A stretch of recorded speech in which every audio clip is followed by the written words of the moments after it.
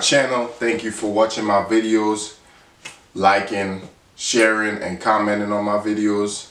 I really appreciate it. You know, continue to support me through this journey. And today my video is gonna be on different sports in my birth country. I don't know if I mentioned this in any previous videos that I've made, but I was born and raised in the beautiful island of Dominica. It's located in the Caribbean between St. Lucia and Antigua, um, or in the French countries between Guadeloupe and Marie-Galante, or Les Saintes, however you look at it on the map. And, you know, going to school here, especially in high school, I got asked some very ridiculous questions, you know. Some is still here in the top of my on the top of my mind and others I try to forget about but this one you know since my channel is about sports and the question I got asked a lot in high school you know is do they play sports in Dominica? And yes I find it ridiculous that you know people would ask such a question in in the 2000s but I just put it on the fact that a lot of people here in America don't leave America. They've never traveled, so they they have haven't had experience with other countries or to learn other cultures. And you know, sometimes those questions come. It might seem dumb, you know, at the time, but it's people being curious.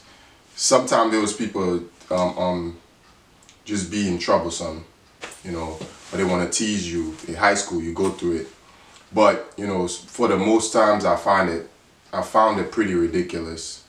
But I answered anyway, yes. We have, we do have sports in my country. We have numerous um, um, sports. Just like um, in relations to American sports, we have basketball, we play soccer, we have rounders. You know, a lot of people here might not know what rounders is. Is a bit. It has the same similarities as baseball, you know, in the way the rules and the makeup of it and and the instructions basically. But it's it's instead of a full-on bat like baseball, you have a round something almost like a ping pong bat you hit the ball with. And we have track and field, of course, you know, that's we, we, we love running in the Caribbean. That's that's you know the world probably knows now. And cricket, we got cricket. That's one of our top sports in in my country, I believe. Um, followed by um, followed by tr uh, track and field, netball, which is you know, they're I, I call net I consider netball the girl version of basketball, but the ball doesn't touch the floor. So it's a very complicated, you know, sports to learn. And my sister played it while she was back home. And it's a very competitive sports in the Caribbean too. They have tournaments between different countries in the Caribbean as well. There's, we have, uh, during the summer, there's various tournaments, basketball tournaments, and soccer as well, soccer tournaments, cricket tournaments. Our cricket team, you know, goes all over the Caribbean to play against different um, countries in cricket tournaments. And some of the players on our cricket team also get selected to play for the West Indies on the 18 or on the 20. So we, we have numerous different sports. You know, it's sports I believe in our culture is very big. You know, we're we're very we love cricket. You know, our I, I feel like our fan base in my country is more towards cricket than any of the other sports that I named. And we also play tennis. Some people play tennis. have tennis also. We do have sports in my country which is part of the reason why I love basketball today because that's the first place I played basketball before I moved here to America in 2007. And I also ran back home. I didn't really run competitively, but we had sports day in our primary school. We have all these different events and running is one of them. They have um, rounders. You have various different um, events to partake in.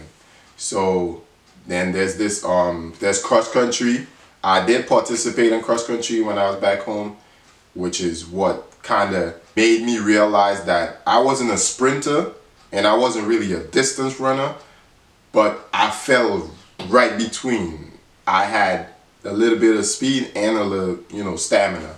Even if my coach in college believed that I was uh, uh, a distance runner, Mr. Stoney. Yeah, I'm talking about you, Stoney. Shout out to Stoney. He's he's a track head, man. You know, if you're in the New York base, you could hit me up. If you're a distance runner, and you know, I have a coach that could train you. If you're looking for a coach, somebody to train you, he's a very good coach. I definitely recommend him to anybody that wants to, to be a, a good distance runner. He has he has these unorthodox ways of training his athletes. I must warn you, he, he's insane when it comes to this running game. His training speaks for itself. And you would see changes in, in your in your running abilities. But yeah, I carried away a little bit here, but that's fine, you know.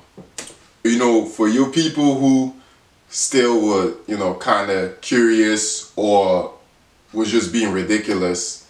It doesn't matter. There's sports in Dominica. We play a lot of sports. We're very active people. We love our cricket. We love our soccer.